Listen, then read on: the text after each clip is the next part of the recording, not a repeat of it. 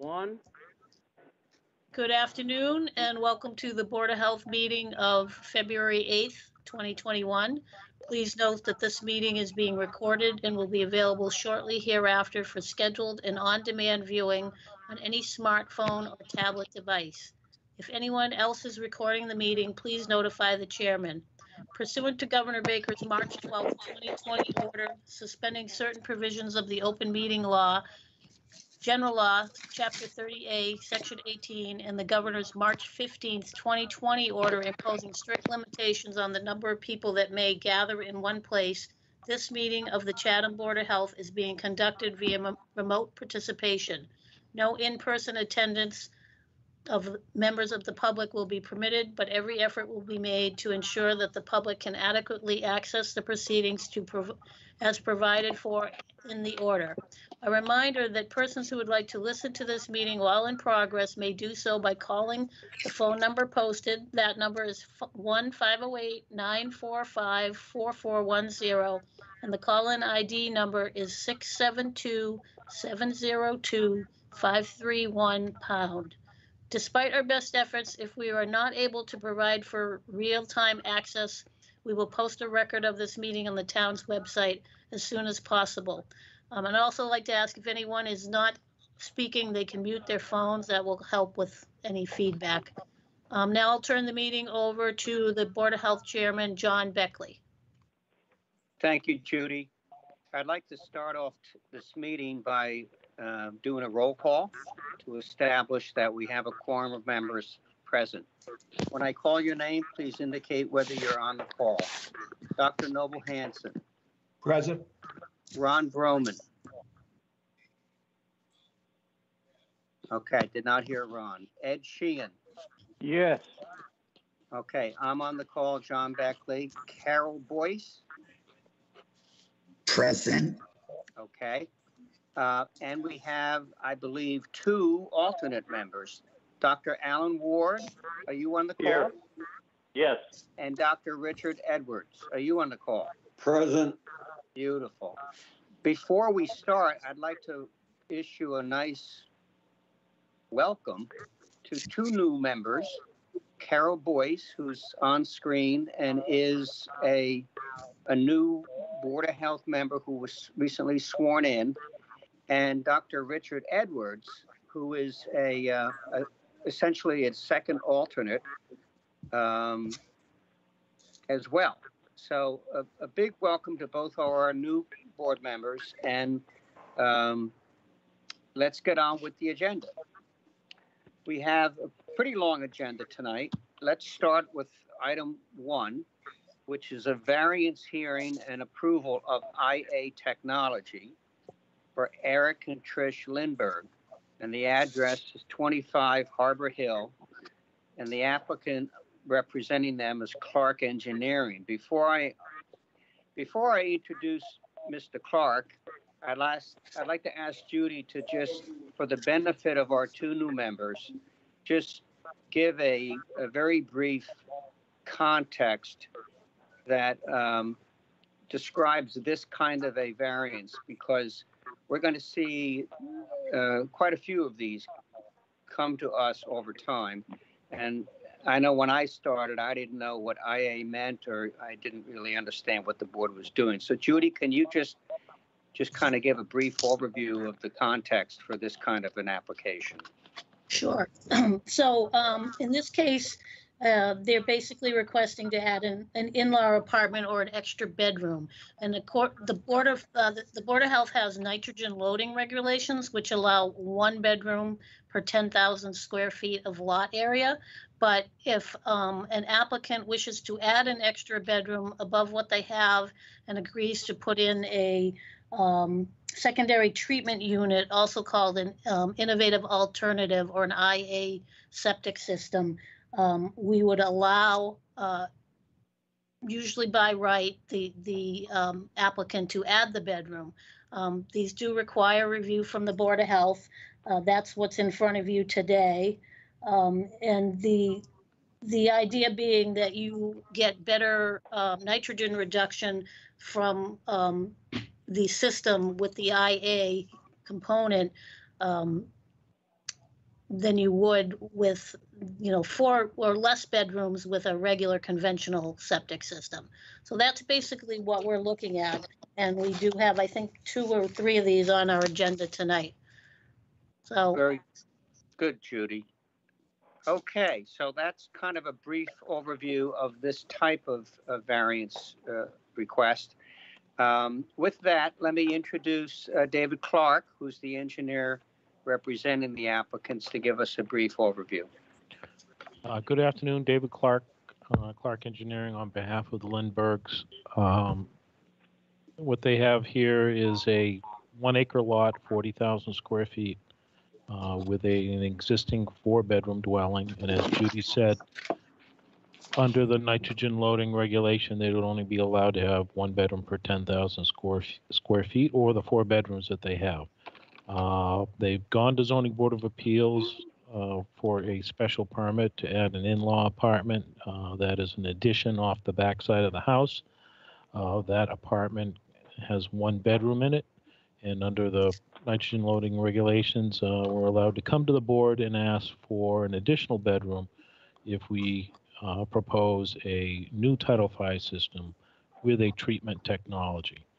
Uh, So we are proposing a new five-bedroom septic system with the Singulair uh, Innovative Alternative Technology uh, treatment system. Uh, That system is credited by the state uh, to uh, increase uh, sewage flow on a lot to 660 gallons per acre, or basically 60, th- six bedrooms per acre. Um, and so it does have the certification by the state as a nitrogen removing technology. Um, As always, as, as Judy said, uh, a, a system with treatment uh, typically will introduce less nitrogen into groundwater than a septic system without treatment. I did provide floor plans um, and I'd be happy to answer any questions the board may have. Okay, thank you, David. Um, Any questions from Board of Health members as to the design or the layout of this plan or anything relating to the application itself? Looks pretty straightforward to me. Yes, uh, Ed Sheehan. Uh, yeah, this is Noble. So is the old, um, Title V septic being removed? Uh, yes, it is. Well, we're going to try to reuse uh, some of the components, but uh, it, it's just not in a location that's conducive to expanding it or or reusing any of the existing components in the location it's at. So we're going to dig it up, um, first pump it dry, uh, both the tank and the leach field. Uh, try to remove the concrete components and reuse them in a slightly different configuration and location. David, does this have, involve any pumping? It, it is not, uh, only to, to remove the contents of the existing systems, but the, Oh. the new system is not a pump system, no. It's a gravity, gravity feed. Correct. Okay. Correct.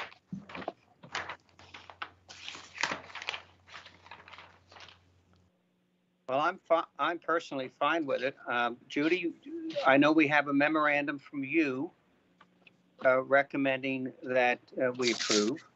And you've had, you've provided a list of nine uh, conditions that you believe ought to be attached to this if we do approve it. Can I get a motion from a Board of Health member to approve? Ed Sheehan approve.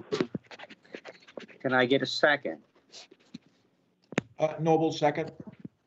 Okay. Um, and Ed and Noble, I'm assuming that you are making your motions and your second with the condition that the the approval carry with them the, the nine stipulated conditions on the memo. Yeah, this is Noble. That Judy, read them as usual. Yes.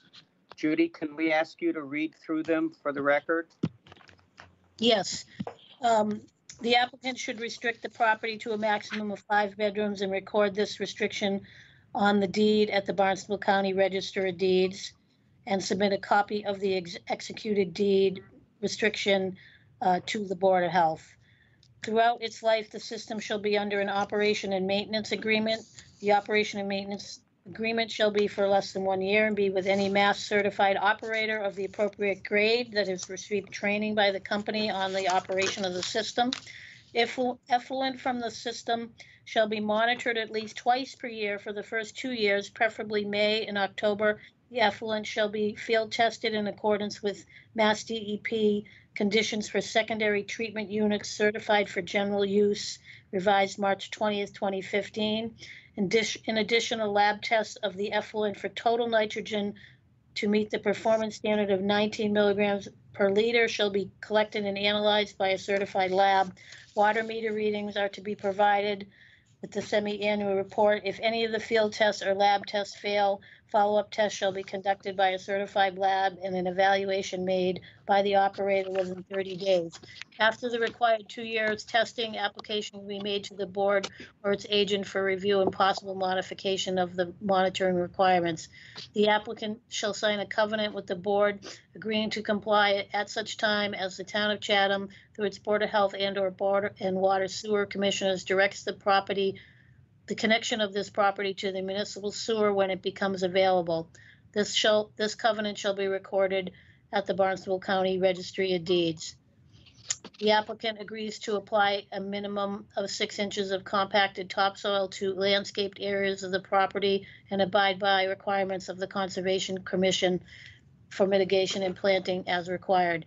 The engineer shall submit an engineered as-built plan according as-built elevations with a written certification that the system has been installed in accordance with the approved plan. No alteration to the floor plan of the dwelling or the engineered site plan will be allowed without further review by the Board of Health or its agent. And this variance is granted pursuant to the State Environmental Code Title V and the Town of Chatham Subsurface Sewage Regulations is valid for one year from the date of the Board of Health approval. Permit must be issued and work commenced during the one-year period or the variance shall expire. Okay, thank you, Judy. Any additional comments from any Board of Health members? Does anybody from the public wish to comment on this before we vote on it? Hearing none, I'll call the question. When I call your name, please indicate how you vote on the motion. Dr. Noble Hanson, Approve? Ed Sheehan, Approve. I vote to approve John Beckley. Carol Boyce, Approve. Okay, and Ron Broman, are you, are you on the call yet? Okay, we have our four votes to approve. Um, in this case, the, um, the alternates do not nor- normally cast a vo- a vote, a vote because they're not needed for, for the quorum. Okay, so the motion carries. Uh, Mr. Clark, you're good to go. Thank you very much. You're welcome.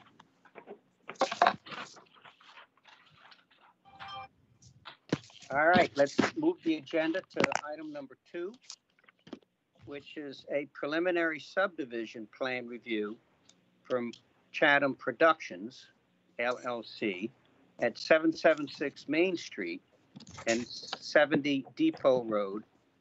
Uh, Again, Clark Engineering, representing the applicant, David Clark.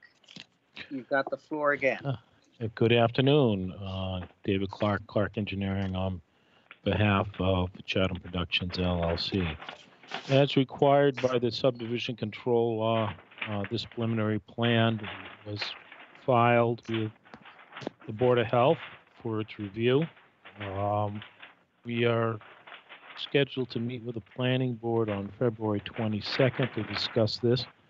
Um, Being a preliminary plan, um, it, it only requires a certain level of detail, uh, namely uh, the arrangements of the lots in a general manner with dimensions and approximate areas, uh, and also the general layout of the roadway and uh, stormwater controls.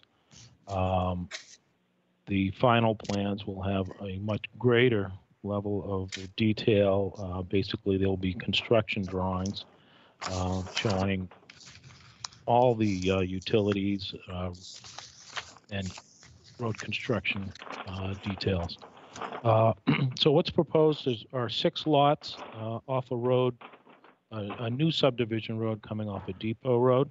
There is an existing dwelling out on Depot Road that will be removed to facilitate the subdivision, as well as two outbuildings that serve uh, the 776 Main Street, uh, Old Monomoy Theater. Um, It's intended that these lots be used for residential purposes.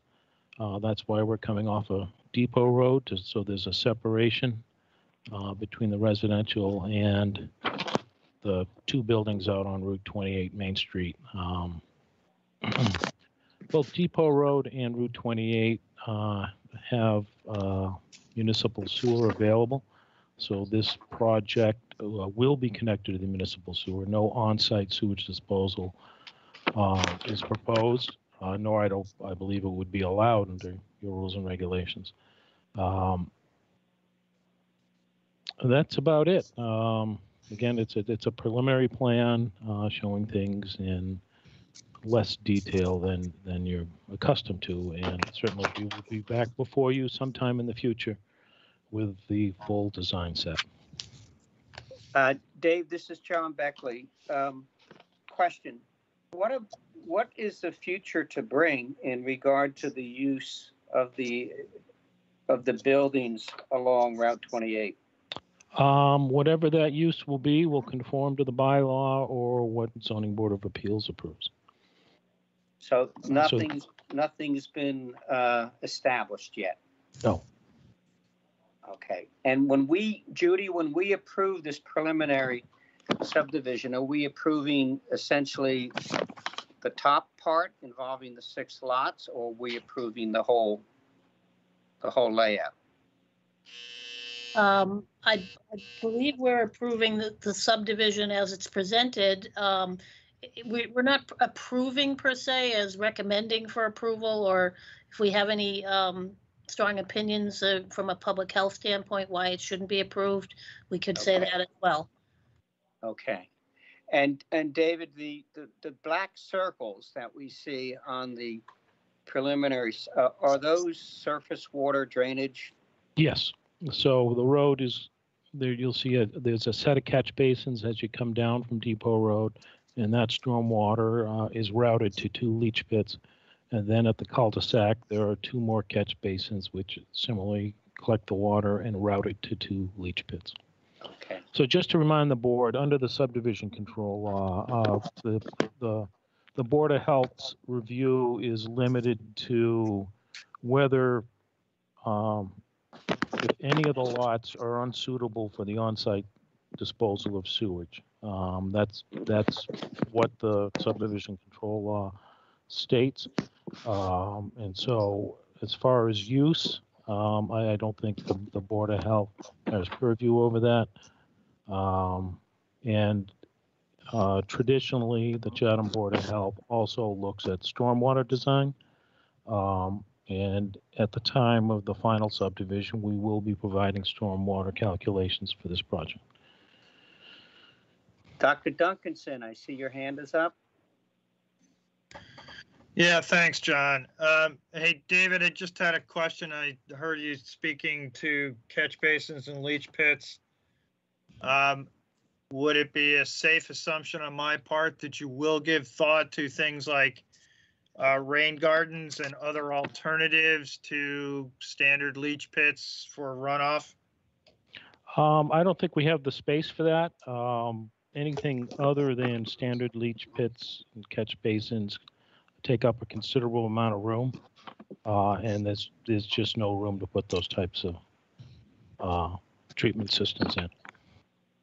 Okay, well, I, I would just hope that, um, you know, at least they're given a brief look at to see if anything is feasible. Uh, because we all know that from a nitrogen perspective, uh, you know, injecting it directly into a leach pit doesn't do much good. So anyway, thank you. You're welcome. Uh, th- This is Noble. Um, Are there, uh, are there two separate lots here or, or or one? There are, well, right now, um, Yeah. the existing conditions, uh, there are two lots. There's a house on its own lot out on Depot, and then, which I think is less than a half acre in size. I think it's probably around fifteen thousand or so, maybe ten thousand square feet. And the rest of the land comprises, uh, the, the theater and the, and seven sixty-eight Main Street, um, Main Street frontage. Right, so are we, uh, we are approving um, town sewer hookup either up to Depot Street or down to 20, Route 28 across the, the- where the old theater is now? Either, either way?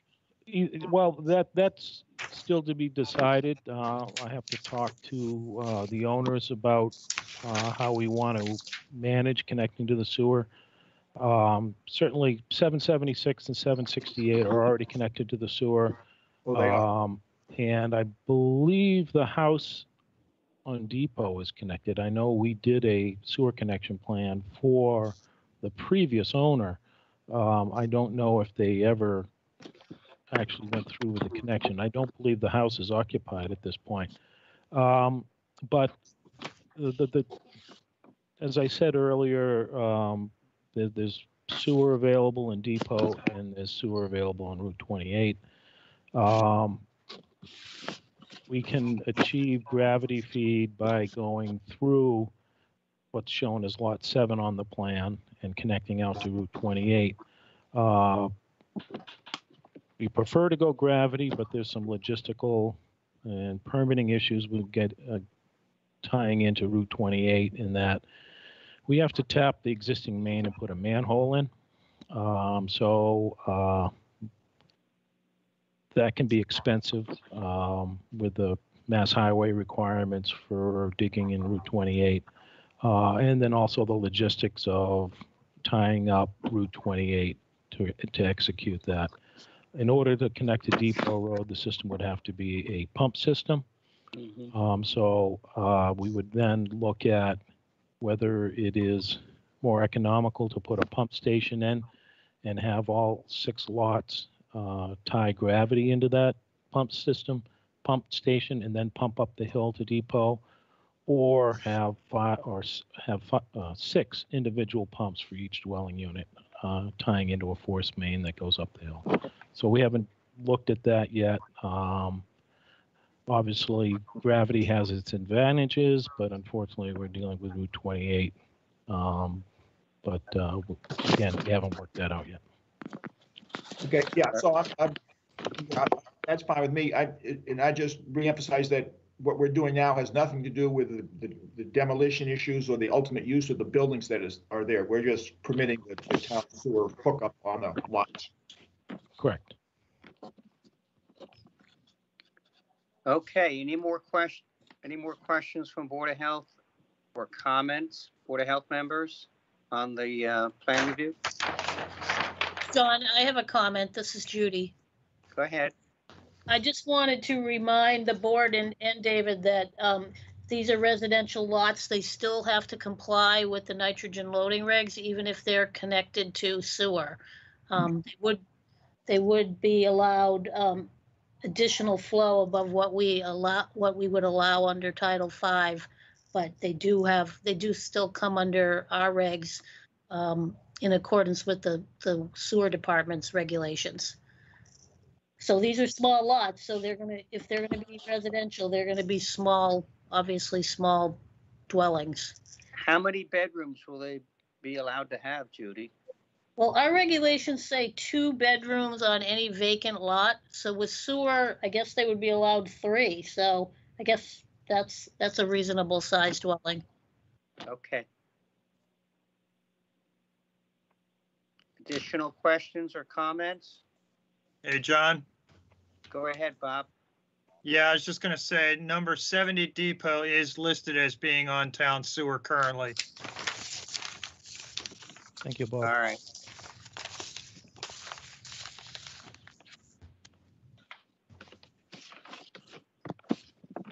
All right. Can I get a mo, now this is gonna come back to us, correct?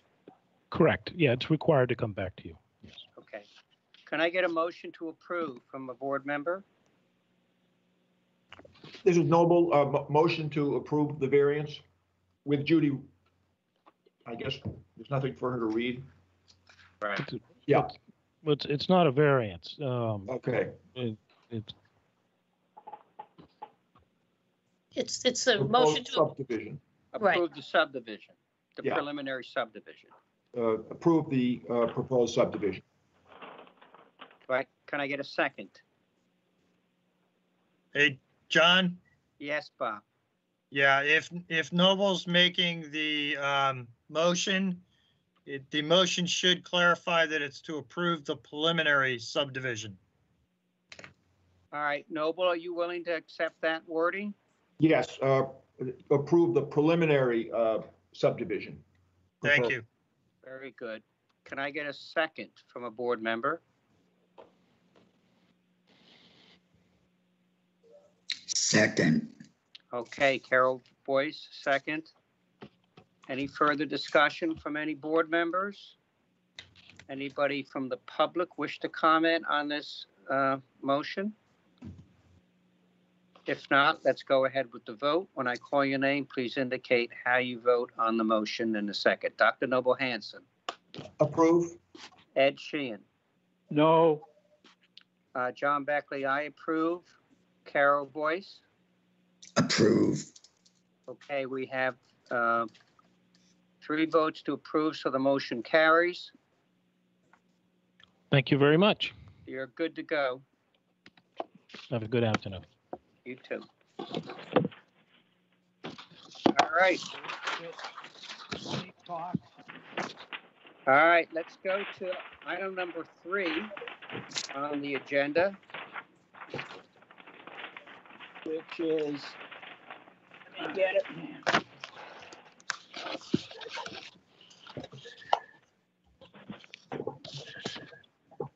Okay, item number three is a variance hearing to upgrade a failed septic system for Sears Point Summer, Sumner LLC at 65 Sears Road. Representing the applicant is East Southeast LLC. Thad Eldridge, are you on the call? Good afternoon, Thad Eldridge here. Okay, Thad, please introduce the application. Alrighty. So last summer, the, um, the folks at 65 were having their septic tank pumped out and the outlet T broke off and solids got into the leaching field. Uh, They're also looking to convey this from the older generation to the younger generation, so it's good timing for a failure. Uh, They were able to limp through the rest of the summer with the existing system, but they're not going to make it much longer uh, into the next one. The site is large. It actually conforms with zoning, but it's mostly wet. Um, If anyone had a chance to go out there, there's a long winding driveway that goes through wetland and it gets you to a bit of upland that overlooks Stage Harbor. So we have bordering vegetated wetland surrounding everything, along with coastal bank and floodplain. Under the state, we're supposed to meet a 50-foot setback, and we're meeting that with everything proposed.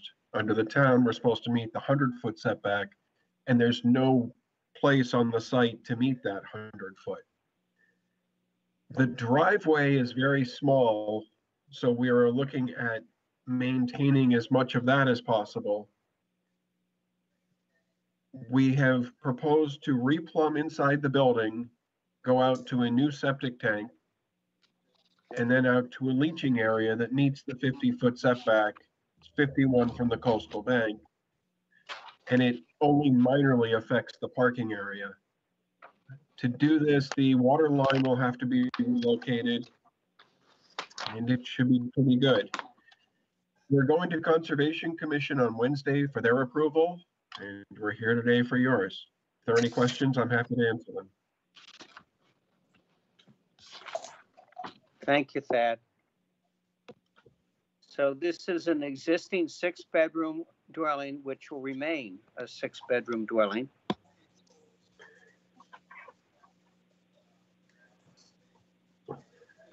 We have a memorandum from the health agent, Judy, to the Board of Health members um, recommending we approve this application with the stipulation that there'll be four different conditions added to it. Any Board of Health members have any questions about the layout or the design?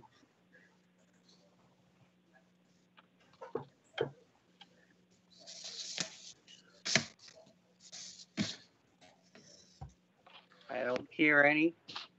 Judy, would, do you want to have any comments on it? Um, no, I, I think that they, Thad has done a good job getting this system, um, outside of the fifty. He couldn't get it, um, within the hundred, outside of the hundred foot setback, which is what our local regs require. Um, so this is just a local variance, not a Title V variance. Um, he's using a, um, a good layout of chambers with no stone. Um, I I don't have any issues with it. I, I think it's as, it's squeezed in there as best he can. Um, everything, because it's so close to the, um, the driveway and part of it, I guess, is under the driveway. Everything should be H twenty components. Um, and, yeah, no, I, I don't have any big issues with this at all. And if I may add to that, this is going to be a couple feet above the driveway. So the existing retaining wall that's there between the driveway and the house, we're going to extend that around. That's that bubbly line. Okay, And so we, when, for the chambers, definitely the H twenty, the tank itself, it's either way. We can put an H twenty if, if the agent would like that. But it's, um, driving up there is not really gonna be feasible. Yeah, that's fine. I, I didn't realize that. I'm looking at it now. Yeah, I agree. Yep. I should have done better with the profile showing that wall. Yeah,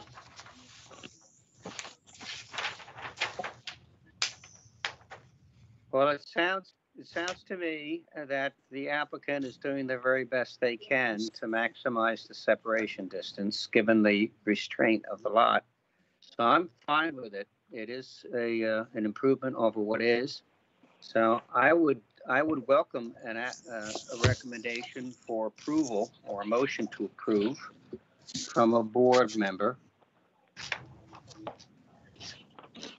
Yeah, this is Noble. Yeah, I agree. Um, Converting a a cesspool to a Title V septic. So uh, I would propose we um, uh, we move to approve the- the variance with Judy reading the uh, conditions. Okay, can I get a second to that motion? Ed Sheehan, second. Yeah, we have a second from Ed. Okay, Judy, would you please read the four conditions? Um, yes. The applicant should restrict the property to a maximum of six bedrooms and record this restriction on the deed at the Barnstable County Registry of Deeds and submit a copy of the executed deed restriction to the board. The engineer shall submit an engineered as-built plan, um, including as-built elevations with a written certification that the system has been installed in accordance with the approved plan. The applicant agrees to abide by the requirements of the Conservation Commission for mitigation and plantings as required. And no alteration of the floor plan of the dwelling will be allowed without further review by the Board of Health or its agent.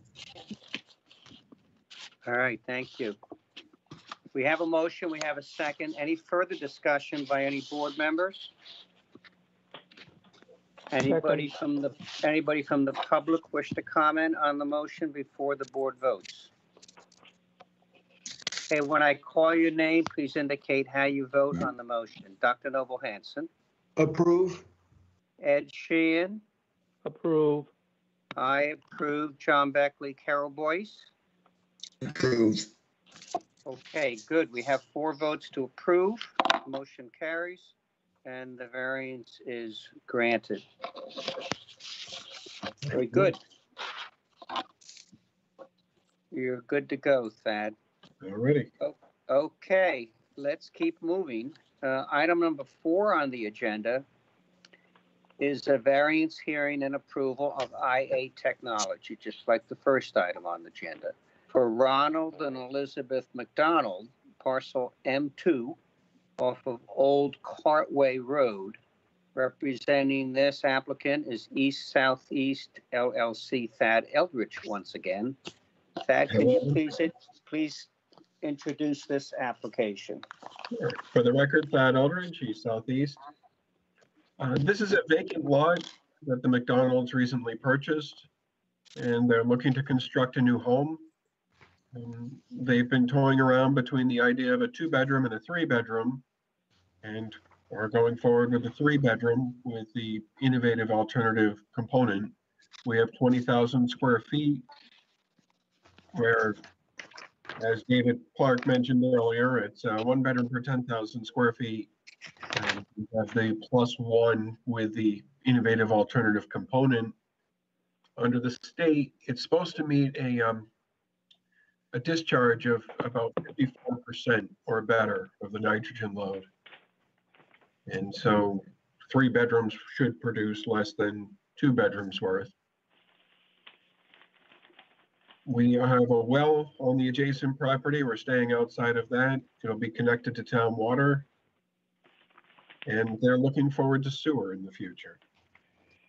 If there are any questions, I'd be happy to answer them.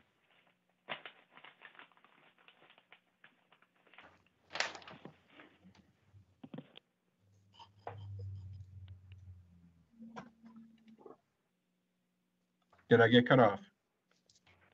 Hello? Hello? I'm sorry. This is John Beckley. I had my thing on mute. Oh, not a It's problem. gonna- It's gonna say this looks sort of like a flag lot to me with the proposed house being located behind the house you see from the road. Um, It looks pretty straightforward to me. I don't have any questions or comments on it. We do have a recommendation from Judy, the health agent, that uh, we approve the application for three bedrooms. And she does, uh, Judy does list nine different conditions uh, if we proceed with that. Uh, uh, Any further board comments or questions on this design? Uh, Seems, seems cut and dried for me, Ed Sheehan. I think it is, Ed. Can I get a motion to approve from a board member? Motion to approve. Okay, Ed, thank you. Can we get a second? Uh, Noble is second with Judy reading the conditions. Okay, we have a Uh, With motion the and a conditions. Yes, the motion includes the, the requirement that the conditions be uh, complied with as well. So why don't we ask Judy to read the conditions that are part of the motion? Okay. So these are the same as the first one that we did tonight. So the applicant should restrict the property to a maximum of three bedrooms and record this restriction on the deed at the Barnstable County Register of Deed and submit a copy of the executed deed restriction uh, to the board. Sorry. Um, Throughout its life, the system shall be under an operation and maintenance agreement. The O and M agreement shall be at least for one year and may be with any mass certified operator of the appropriate grade that has received training by the company. Effluent from the system shall be monitored twice per year for the first two years, preferably May and October. The effluent shall be field tested in accordance with Mass DEP standard conditions for secondary treatment units certified for general use, revised March 20th, 2015. In addition, a lab test of the effluent for total nitrogen to meet the performance standard of 19 milligrams per liter shall be collected and analyzed by a certified lab. Water meter readings are to be provided with the semi-annual report. If any of the field tests or lab tests fail, follow-up tests shall be certified, shall be conducted by a certified lab and an evaluation made by the operator within 30 days. After the required two years testing, application can be made to the board or their agent for review and possible modification of the monitoring requirements. The applicant shall sign a covenant with the board agreeing to comply at such time as the town of Chatham through its Board of Health and Board of Water and Sewer Commissioners directs the connection of this property to the municipal sewer when it becomes available. The covenant shall be recorded at the Barnstable County Registry of Deeds and a copy submitted to the Board of Health. The applicant agrees to apply six inches of compacted topsoil to all landscaped areas of the property. The engineer shall submit an engineered as-built plan, including all as-built elevations with a written certification that the system has been installed in accordance with the approved plan. No alteration to the floor plan of the dwelling or the engineer's site plan will be allowed without further review by the board or its agent. This variance is granted pursuant to the State Environmental Code Title V and the Town of Chatham Subsurface Sewage Regulation is valid for one year from the date of the Board of Health approval, and a permit must be issued and work commenced during the one-year period or the variance shall expire. Thank you, Judy. Okay, we have the motion. We have the uh, conditions read into the record. Do we have any additional questions or comments by the Board of Health members at this time? Any comments from the public at this time? Okay, when I call your name, please indicate how you vote on the motion. Dr. Noble Hanson. Approve? Ron, um, uh, I'm sorry, Ed Sheehan. Approve. I vote to approve John Beckley. Carol Boyce. Approve. Okay, we have four votes to approve, nobody against. The motion carries, and this item is granted. Thank you much. You're very welcome, Thad.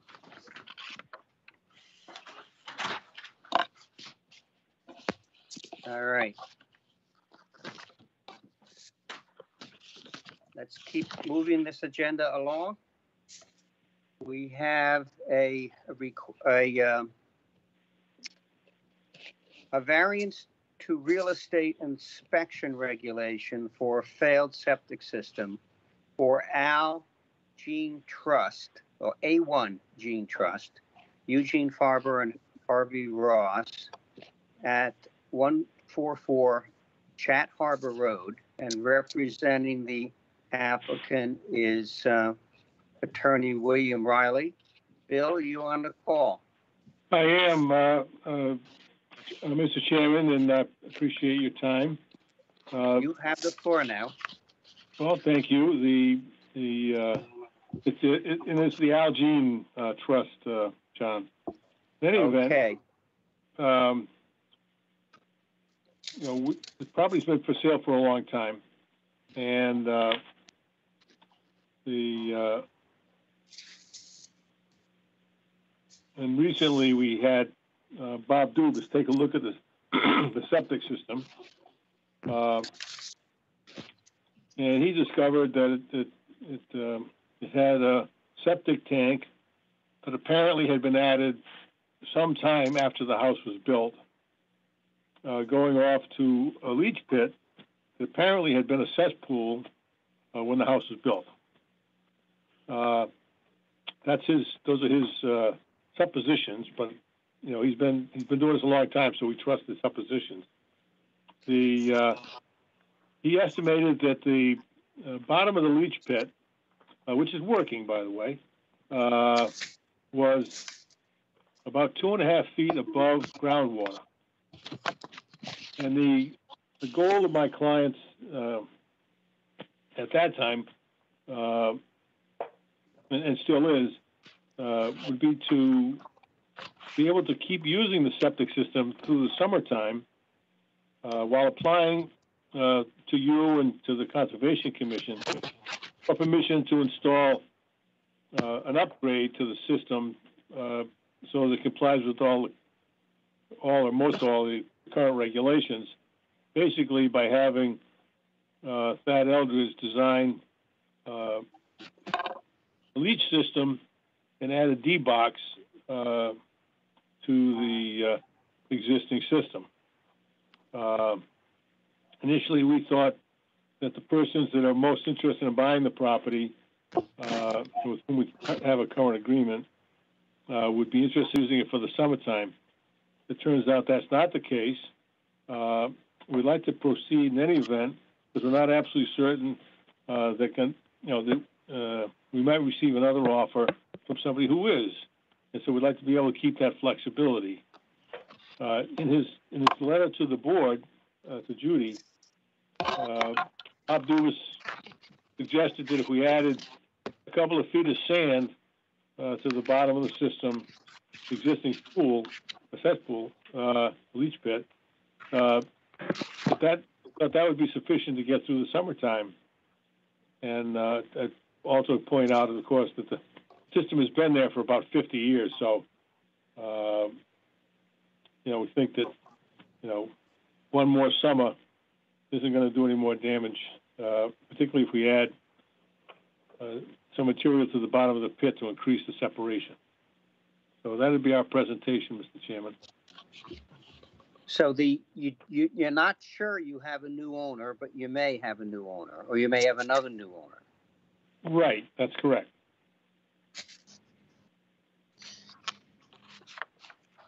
Initially, well, initially, uh, we were, uh, you know, my clients were under the impression that the, the people with whom they have a contract, uh, would be interested in using it for the summertime while the new system is, was built, uh, or designed and approved. Uh, turns out that's not accurate, uh, but, you know, the, uh, they'd like the, the flexibility to be able to keep using it, uh, either because the persons with whom we have a contract would change their position, or because we would enter into an agreement with somebody else. So Judy, in a normal circumstance, if a home is being sold to a new party and this was discovered as a defect, the new, the new system would have to be installed immediately as part of the transfer of title, true? Um, within 90 days, our local regulations say within 90 days of transfer of property. And that usually is what happens. Um, either the engineering is done and the system gets upgraded shortly after the closing, or a lot of times it happens before the closing. Um, this is a little different, especially in, light of what Bill said, and that um, we're not really sure what the plans are for the property. Um, originally, when it was submitted to me, it was that these people agreed that the, the buyers, the potential buyers, that they wanted to use it through the summer and renovate and begin their renovations in the fall or sometime thereafter. So I, I'm, I'm not really sure what, what's going on here now, but, um, I don't have a problem with giving them more time to figure out, but I wouldn't go, you know, past the fall. I mean, um, it maybe six months would be the maximum time we would give them. Uh, I mean, But- we don't but, uh, even, we, we don't even know if the new buyers are gonna want to demolish and rebuild a new home, do we? Uh, uh, Mr. Chairman, no, we don't, but we've engaged Thad Eldridge to design the new system. But one way or the other, the new system is gonna be installed. Uh, because we have to go through Conservation Commission, uh, we don't know how long that's gonna take, we hope not too long. Uh, and so, uh, you know, one way or the other, uh, by next September, you know, there'll be a new system installed there. We're just asking for the ability to get through the summer before we do that work, that's all. Okay. So, so, I mean, Thad could still design a new system for that lot, even if the house was demolished, provided it was l- located in a, in a suitable location where there was still space for a new house to be put and disconnected to the new system, true? That's correct, and the, I mean, the history of this lot uh, is uh, that uh, the neighbors uh, along Chat Harbor Lane uh, have uh, vehemently and vigorously opposed a couple of applications to change the structure. You know, to demolish it and relocate it, or demolish it and build it in the same location, but a bigger building. So the, uh, so we don't have any idea, uh, what the ultimate plans the current proposed buyers would have. Uh, but we do know that they're familiar with the opposition from the neighbors. The, uh, uh, as I say, in- initially, uh, my clients were under the impression that this is the way they wanted to proceed. We've since been told that they have no interest in having a, a temporary system through the summer. Uh, but the, the, uh, uh, you know, having started down the road, we'd like to get the flexibility of having that permission. And right now, um, they say Thad's already working on a new design. So, I mean, Okay. it could be that these owners, uh, buy and install a new system right away. So, uh, anyway, that's where we are right at the moment. Trying to get, trying to get permits for the new system, but it's gonna be a while. Okay, Mi- Mr. Chairman, uh, Bill Litchfield, if I could comment briefly. sure. Uh, I represent the, the contractual buyer, and we understand the, the flexibility that is being sought, and uh, we have no, no particular objection to that flexibility, but we are concerned uh, with compliance with both our contract and, of course, with your regulations. So we, we don't oppose the request per se, but we do want a compliant system. If it is designed and approved by, by your board and the Conservation Commission, then that, that can be a way to go.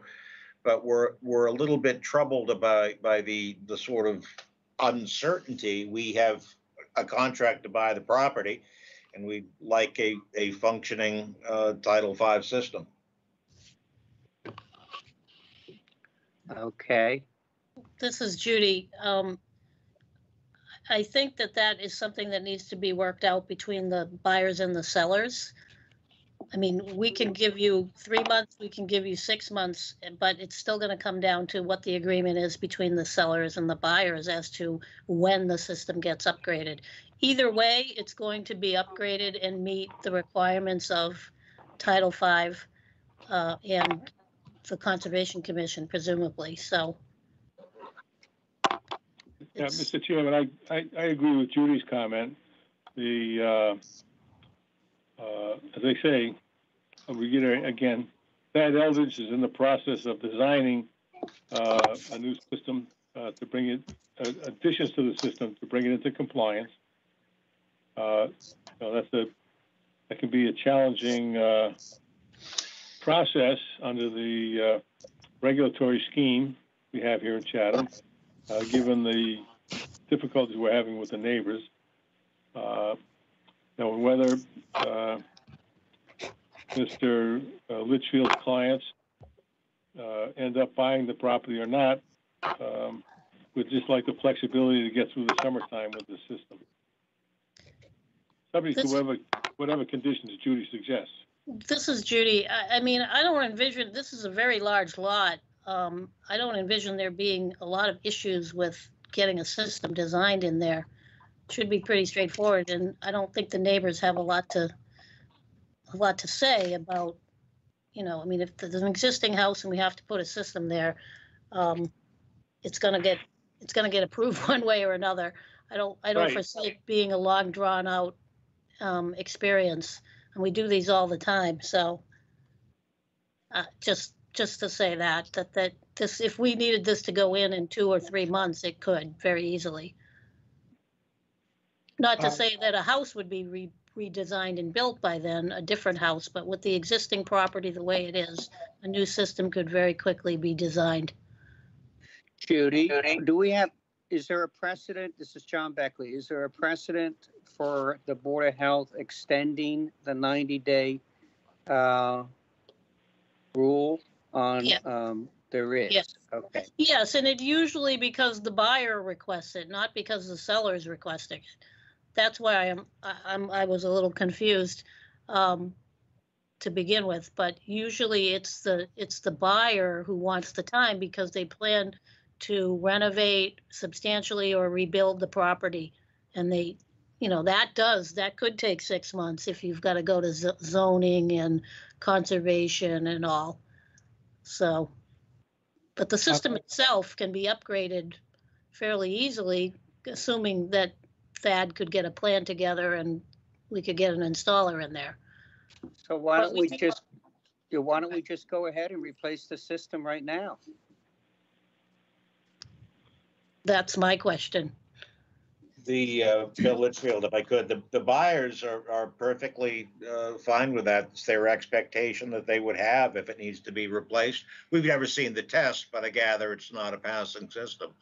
So, uh, if, if an inspection has been done or in lieu of an inspection in light of Bob's, Bob Dubus's knowledge, uh, then a, a new system is, is cer- certainly fine by the buyers. Uh, Judy, th- this is Noble. If, if somebody, um, voluntarily inspects their, uh, septic system and it fails, what are, what is the, what's, what's the uh, rule, the health department rule for them at that, in that situation? Um, if a system fails, They just voluntarily, uh, inspect it and it fails. um, we would require an upgrade. I mean, there might be more wiggle room with a voluntarily inspection depending on the type of failure. If it was something that was, um, you know, an environmental or public health hazard uh, imminent, then we would certainly get right on it. If it was something that was, um, you know, I, I can't, I can't off the top of my head think of a reason, but we may be able to give people more time um, uh, in some circumstances. But yes, if it fails us an inspection, it has to be upgraded. Has to be uh, within ninety days, is that the rule? Yes, that's what our regulations say. This So, system, th- the only reason this system failed, it is a very old system, um, but it failed because the leach pit is too close to groundwater. We, re- we require under our regulations a four-foot separation between the bottom of the system and the groundwater. Um, Title V in their regulations just says a separation, so it could be six inches and it could pass, but our regulations are more stringent. Um, because of many environmentally sensitive areas we have along the coast. Um, so, you know, we definitely would want to get this upgraded as soon as possible. Right, so to me, it's, um, it, it's a, uh, it's been voluntarily inspected and failed, and so they have ninety days, and they're basically asking us to extend that for, well, six months, you suggested, to, through the summer, in a system that's, you know, working okay in the short term. So Correct. that's, that's the way I'm looking at it, and then what the buyers and the, and the sellers do on all that, that's contractually, that, that's up to them. We, we would just be approving an, an extent, a short extension for a, a system that's failed after a voluntary inspection. Does that, does that sound right? Yes. But Yeah, I mean, I, we can approve this and, and then the buyers and the sellers can figure out what they really want to do, and that's up to Right, them. and then, and then we would just have to put a date, if say through the summer would be, I don't know if that's six months or till September first or something, whatever, just pick a, pick a time. No, I- Noble, this is John. Yeah, Beckley. Noble, my, my, my, I'm sitting here thinking, we have a, we have a system that's encroached into the groundwater. And, and we have a, a ninety day rule, uh, for connection. And we have a willingness, uh, uh, and a practical, uh, uh, set of circumstances where it could easily be done within 90 days. I don't know why we just don't stay, stay the course and require that the property receive a new septic system within 90 days. yeah, I, you can talk me into that, that, that's fine. I mean, I, I, I think that's the- a reasonable position. I mean, I, I'm okay giving an, ex- giving a waiver, but I don't even, I'm not hearing a strong argument why, why we even need to do a six-month ex- extension. This is Judy. I mean, if you deny the, re- if you were to deny the request, then the, the, the buyers could certainly come back and request more time after the fact. Well, Mr. Chairman, Yes, yeah, so the, uh, the house is currently vacant and it's been vacant for a year. Uh, and we may not necessarily, uh, sell the property to Mr. Litchfield's clients. The, the, it's, it's conceivable that the, uh, whoever does buy the property would prefer to wait until September to install the new system. So right now, this, right now, the property is vacant. Sort of the worst case scenario is somebody might use it for up to ninety days during the summertime. Uh, if we get a buyer, uh, that's willing to take it under those circumstances. And then the new system gets installed in September. Well, what, what's wrong with the thought that the current owners, upon notification, simply proceed to replace the system with a new system within 90 days, and then the property transfers at that point? Well, this, this probably not going to surprise you, uh, Mr. Chairman, but the, uh, they'd like to have money in hand to do the work, uh, rather than spending the money now. And considering the fact that the house is currently empty, uh, we see that we don't believe there's any harm to the environment. And the fact Um. is that these kind of extensions have been granted fairly routinely over the years. John, John, I just wanted to make clear that our regulations say 90 days from the date of transfer.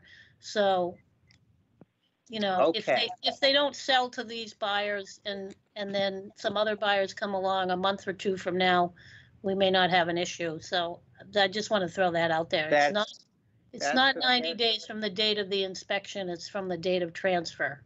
And there's no transfer even scheduled yet. Correct. Well, there is one scheduled, Mr. Chairman. We're actually, um, very soon, it, it, there, there is a scheduled closing. It had been, this is Bill Litchfield, I'm sorry. It had been scheduled for, uh, last month, but because of the septic issues, we're operating under the contractual thirty-day extension. Okay. I mean, This is Noble again, but if, if it's failed from a voluntary inspection, not a transfer, it's still 90, it's still a 90-day requirement, correct? Judy? Y- y- Yeah, our regulations are for real estate transfers, so on a voluntary um, inspection, we would have to look at the situation, as I said, to see what type, type of a um, public health hazard it was and how much time would be given, would Okay, depend on so- that. So then it's individual, not. Yes. We don't, we don't get a lot of voluntary inspections. The only reason why this was done this way was because um, they were trying to save the sellers, I think, the, the, the expense of having a complete inspection when the inspector knew it was already failed. Uh, Judy, I'm not in favor of this half-assed thing. Okay, Ed. We know how you, thi- you feel. Yeah, this, this, this is an- anonymous, you know, yeah. They're, they're playing rockets with socks. I, I mean, I could Come- make the Come on, let's get down to, get to the could- business of it. It- Give them the what they want and take it away what, you- what you don't want. I think that, I mean, if you wanted to, John, we could continue this and let the, let the um, attorneys figure out what their clients want to do Right. and bring Let it back to Kick it us. around. Uh, That's just a suggestion. Otherwise, eh, you can do either approve it or disapprove it. Mr. Chairman, Bill Litchfield, on behalf of the buyers, uh, the, the uh, suggestion of, uh, continuing this to your next meeting is certainly acceptable to my clients. Of course, because your clients don't have anything to do with the property right now. They have an agreement that's going to expire in less than 30 days, and then my clients are going to decide what happens to the property. I'd like to request again for an extension until September before the system has to be replaced. I, um, Are we still here? yes, we are, Ed. We're still Yeah. wrestling with Well, what to do uh, here. It, it's, it's, it's, it's quite obvious that, uh, it- they've got to have a time frame, and they're, they're playing games. This is Richard Edwards. Can I make a comment? This is who? Richard Edwards. Yes, sir. Go ahead, So, Richard. so if a, if a, if, if I have a cesspool in my backyard and it overflows and, and the guy, and I call somebody to come pump it out and they say, well, this cesspool has failed. And, and if the, if the, the, the Board of Health knew about this. Am I to understand that there's nothing that needs to be done as long as I'm not gonna sell the house? Or, or, or, or, No. or rebuild it, that, that, No, that the- would be considered an imminent public health, um, well, if we've hazard. got, we've got a cesspool that's within two feet of groundwater. You know, that's a public health Right. problem. But we're saying, oh, we don't need to do anything about, because maybe people won't move in until the fall. But people may move in next week. Uh, so it, it doesn't make a lot of sense to me to just sort of ignore this. Uh, Mr. Chairman, we're not ignoring this at all. And, you know, as I say, we, Thad Eldridge is in the process of designing a new system. And the fact that Mr. Litchfield chimed in with what his clients want, uh, in his, claim of a contract that, that even though it's going to expire by its own terms in less than thirty days, uh, you know, this is a, it's a perfectly reasonable request. The house is currently vacant. The system's been there for fifty years uh, without any noticeable harm to uh, any aspect of the of the uh, uh, environment, and it's a it's a very standard request. And Well, we don't want to do construction in the summertime, so we don't know who we're going to be dealing with necessarily on the purchase. We're just asking for some flexibility. That's all. um, I gotta say, as the board chairman, my, my preference here is I could be persuaded to do otherwise, but my preference would be to deny the variance request and, um, not approve it at this time, and then wait and see what, what comes back. Judy, could we do that if we wanted to? yes, certainly.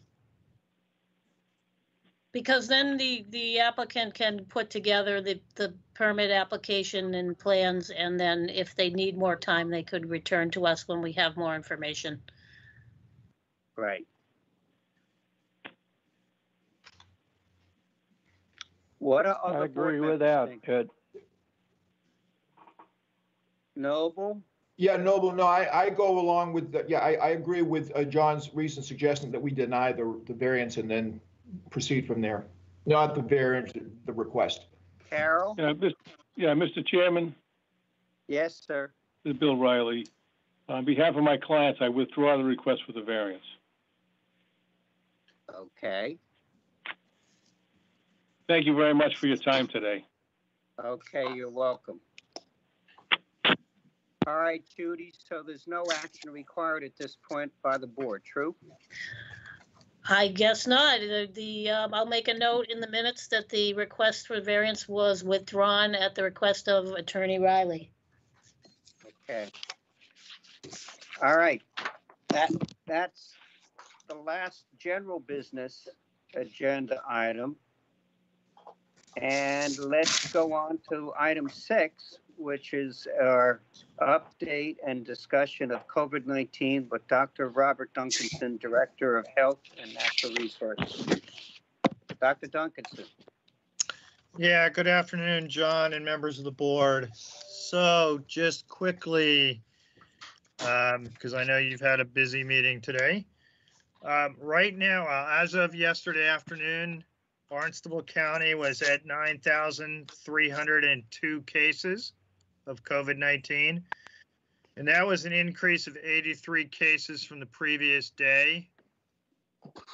Um, and that continued. There was a slight downward trend there. Um, the previous uh, four days before that were 116 cases, 93 cases, 90 cases, and 150 cases. So there was, you know, yesterday's count of 83 is down slightly, uh, but you could tell those numbers have been kind of bouncing, kind of back and forth. Um, and I think what's more significant is those higher counts. So those those uh, five days of higher counts actually followed two days where we were only in the 30s. We had a day of uh, an increase of 31 cases and 36 cases, and then we're back up into the you know 100 150 range um, for the last five days on the Cape. So we're we're still we may not be completely over the the last bit of the surge from the holidays here on Cape Cod. Um, in terms of deaths, we are currently, or as of yesterday afternoon, we were at 354 deaths. Um, and that, you know, we've been averaging two to three deaths per day, but we did have two days, um, five days ago, where we're, where we had two days in a row of zero deaths. So the deaths mirror, if you will, uh, what the caseload has been. In Chatham specifically, we are currently at 243 cases, and that is total since the pandemic began. Uh, and basically counting all the way back to January 1st of 2020. Uh, we had 106 cases in Chatham in January of 2021. Um, and as we've talked about previously, January of this year has been the highest caseload that we've experienced and reflects the surge that took place post Thanksgiving and post Christmas, New Year's, and, and other holiday party situations. Um, and as we've talked about before, a significant majority of those cases were related to the Liberty Commons facility. Um, anywhere from probably about 60 to 70% of those cases uh, were related to Liberty Commons. And just again, you know, even though Liberty Commons has done a phenomenal job with the outbreak since it began last year, um, you know, they finally ran into the brick wall roughly in mid-December through mid-January, uh, which you know just shows how insidious this virus has been, you know, in terms of getting into even the most secure, if you will, facilities. Uh, because Liberty Commons was really doing everything right and went above and beyond uh, to keep it at bay, and unfortunately, they were not successful in, in total.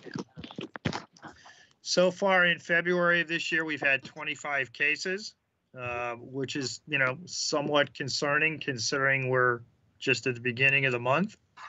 Uh, so we may be on track to have a similar February to what we saw in January, or we may just be, be experiencing kind of the tail end of the, you know, the holiday surge, and hopefully the the rest of the month uh, we see a fairly significant drop off. I somewhat anticipate that we might because we're definitely seeing a downswing in cases in Liberty Commons. And in fact, over the weekend, the last of their residents that they had in their dedicated COVID wing were released. So they do not currently, or as of yesterday afternoon, uh, they did they did not have any further active COVID-19 cases. Um, and seeing as how they accounted for a fairly significant portion of the town's overall cases, um, hopefully we will see a similar downturn in Chatham cases. Although I will tell you, in the last week and a half or so, uh, we have seen a number of cases where we're seeing multiple cases in the same household. So, you know, it may start out with one positive case in a household, and then the next, you know, within a day or two, all of a sudden we have two, three, four cases all in the same household. And that's consistent with what we and the state and others have been saying recently that the most significant route of transmission recently has been household contact.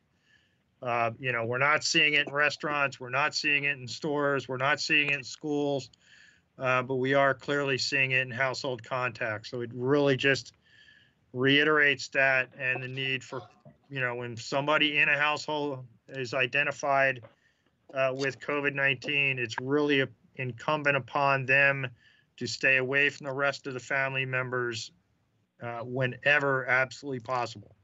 You know, separate bedrooms, separate bathrooms, you know, having their meals in the bedroom, not going into other parts of the house to really try to keep it under control. Um, so far, since the pandemic began, there have been 22 deaths in Chatham. Uh, 16 of those have been at Liberty Commons. Um, the majority of those uh, Liberty Commons deaths occurring in December and January, unfortunately. Uh, but we have had, uh, you know, six deaths of Chatham residents outside the Liberty Commons type facility. So that's a quick update on the numbers. The other thing that I wanted to um, talk about briefly was, um, and the board was all copied on the press release early this morning, But Barnstable County did announce that starting at 9 a.m. tomorrow on Tuesday, they are going to open registration for two clinics that are going to be held here on Cape Cod. And these clinics are for folks that are in phase one of the state's uh, vaccine priority listing or those that are 75 years or older. So the first priority group in phase two. And they live and work, live or work on Cape Cod. So the first um, clinic is going to be on Wednesday, February 10th at the Cape Cod Melody Tent in Hyannis. And there are 1,365 doses available at that clinic. The second clinic is going to be at the Little Creek parking area in Eastham. And that is going to be on February 12th, which is Friday. And there are 375 slots available in that clinic. And as I said, registration for those slots will open tomorrow morning at 9 a.m. on the state's website, www.massimmunizations.org. Again, that's www.maimmunizations, one word, dot org. For those folks that may be listening in, or for if you, you know, if you're listening and you know somebody that may be in that circumstance, for folks that are not able to make an appointment through the state's online system, the Barnstable County Helpline at 774 330 3001. Again, 774 330 3001 will be available to help folks make appointments by phone tomorrow. However, because of the limited number of appointments and the large population of, you know, older 75 folks on Cape Cod, I think the helpline, frankly, is going to be inundated um, when they when they open up tomorrow morning, um, when that registration period opens at 9 a.m. So I strongly urge anyone who can do it online to do so. Um, but keep in mind, folks, you know, we only have about 1,700 doses between those two clinics available.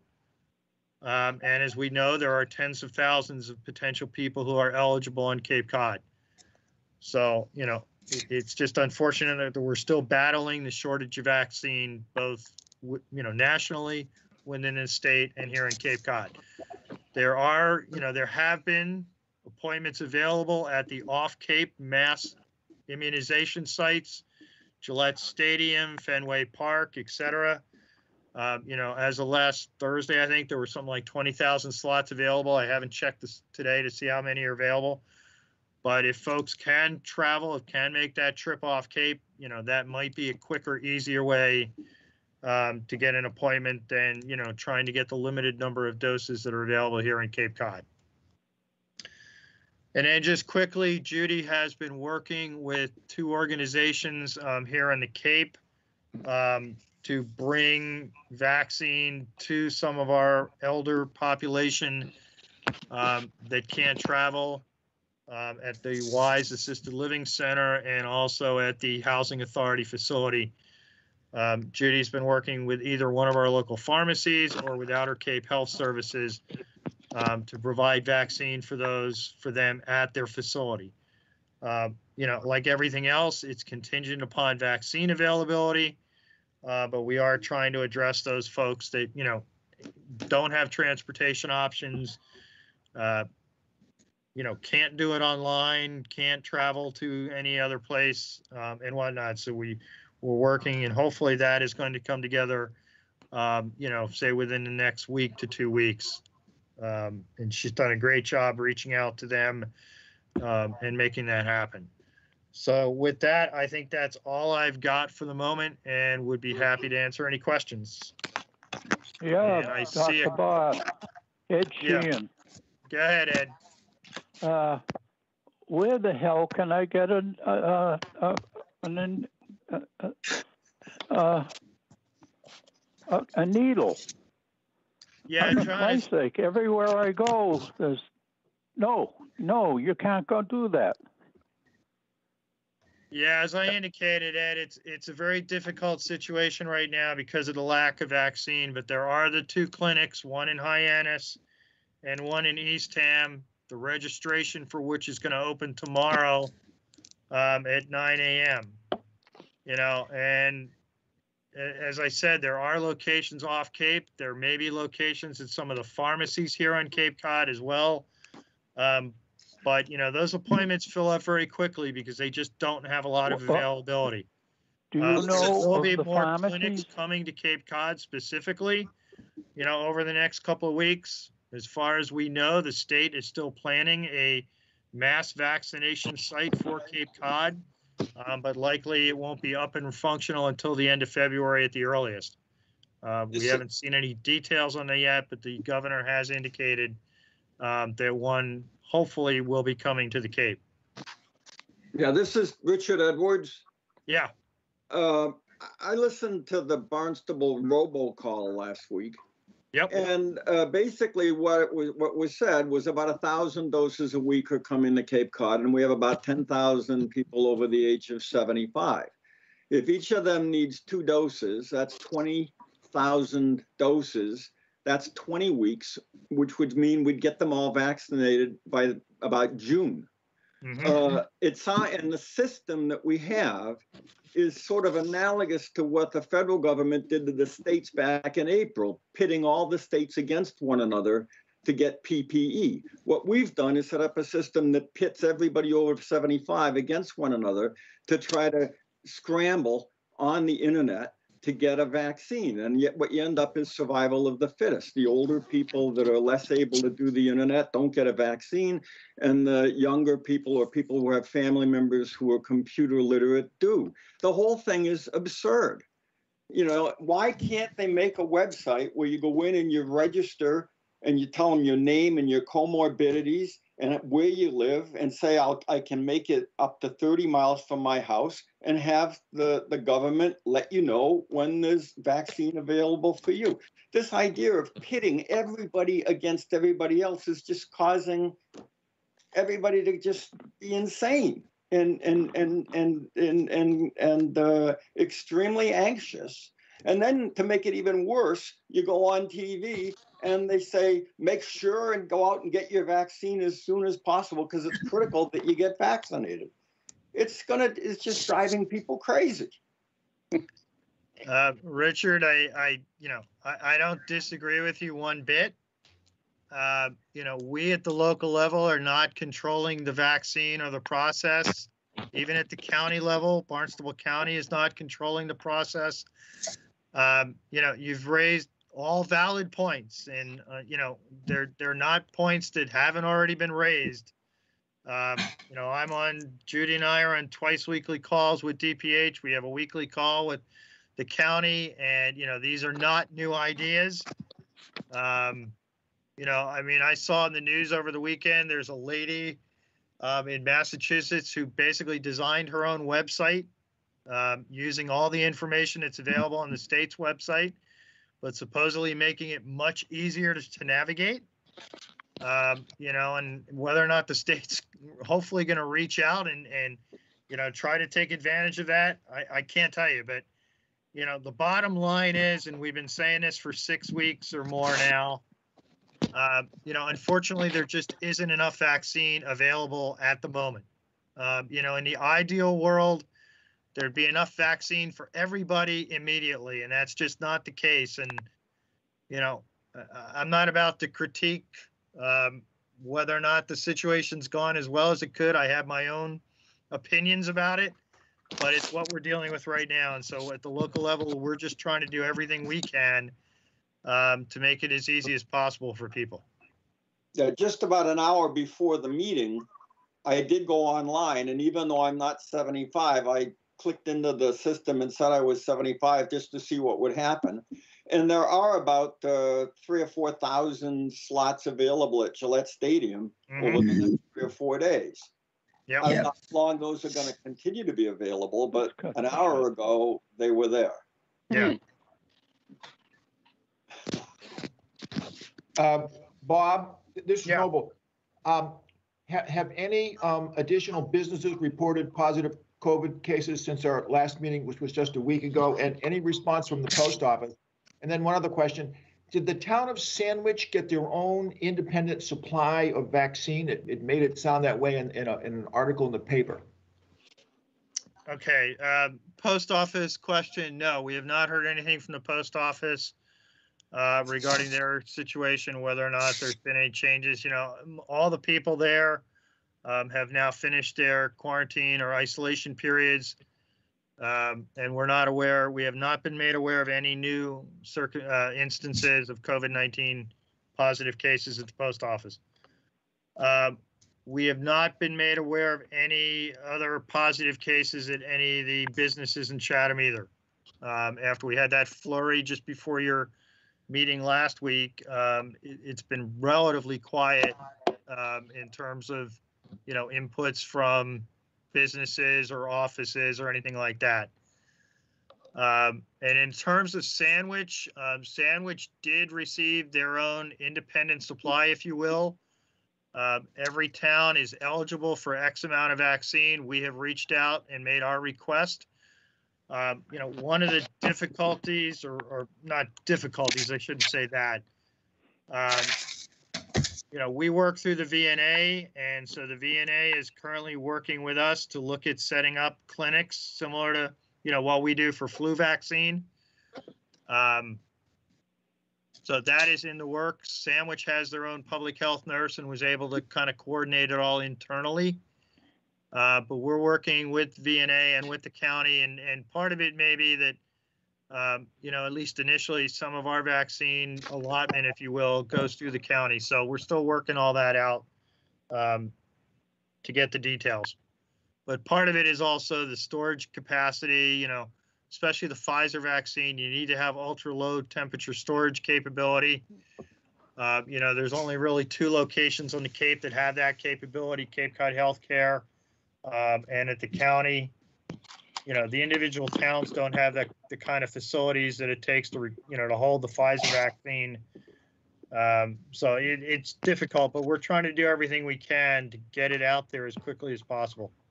Uh, Richard, Judy, if you want to add anything to that?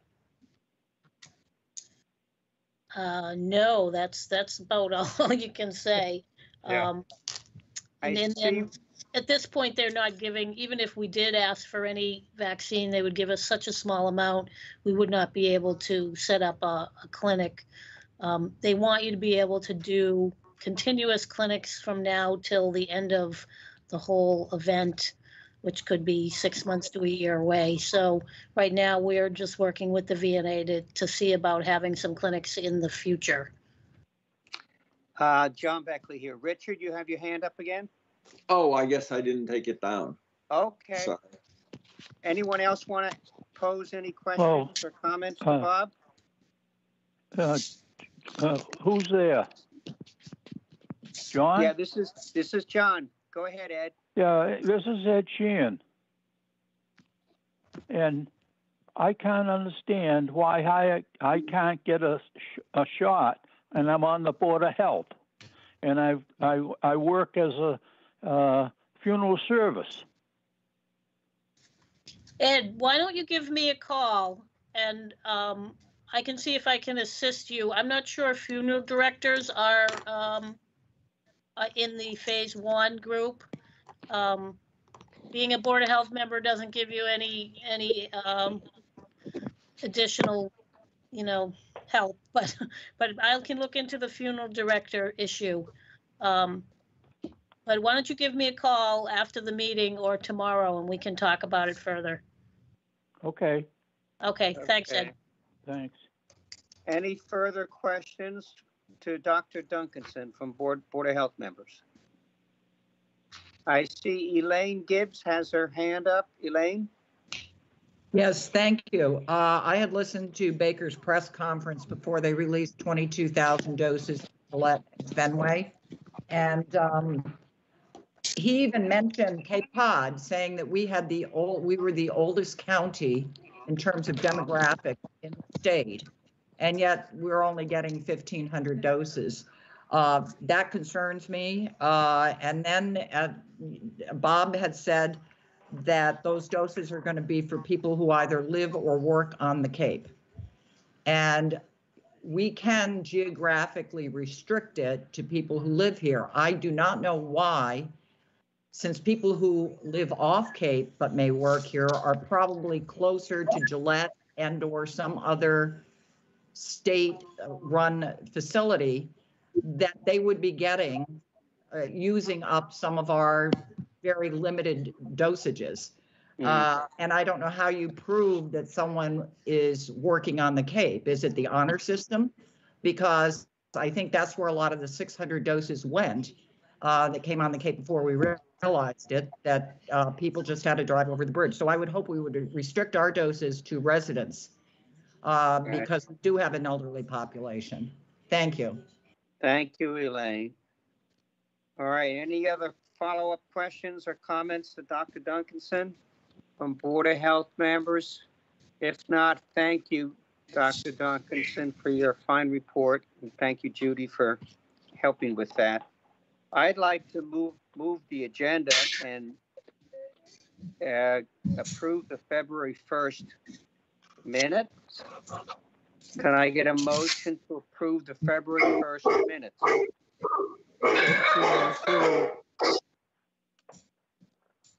Uh, Whose dog is there? Somebody should be on mute. He's got a dog barking. There's, there's a Noble, I move to approve the minutes. Uh, who is that? Noble? Noble, yeah. We have a, do I- can I get a second to approve the minutes? Ed Sheehan, second. Ed Sheehan, thank you, Ed. When I call your name, please indicate how you wish to vote on approving the minutes of February 1st. Dr. Noble Hanson, Approve, Ed Sheehan, Approve. Carol Boyce. Carol, unmute.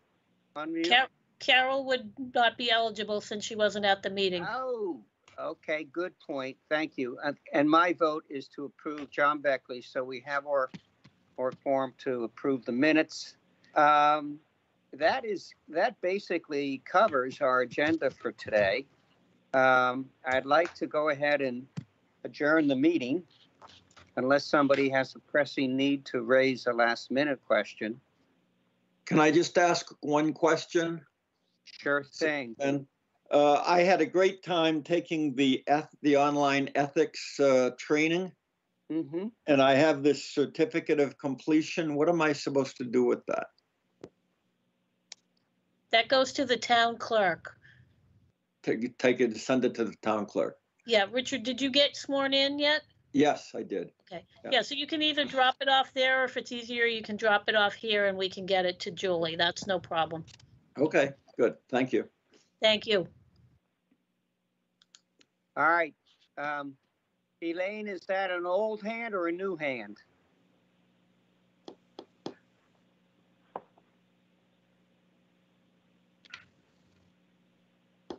Okay, let's go ahead and adjourn the meeting. Can I get a motion to adjourn? Motion to adjourn. Ed Sheehan. Okay, can I get a second? second, Noble. Okay, we have a motion and a second to adjourn the meeting. When I call your name, please indicate how you vote on the motion to adjourn. Dr. Hanson, Uh, adjourn, Ed Sheehan, Ed Sheehan. Carol Boyce.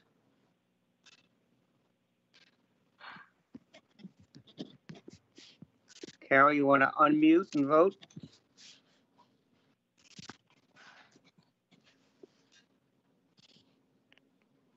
Okay, I will vote to adjourn. So we have three votes to adjourn. Um, That's it for today, everyone. Thank you all for your participation. And uh, see you next meeting. Thank you. Bye-bye.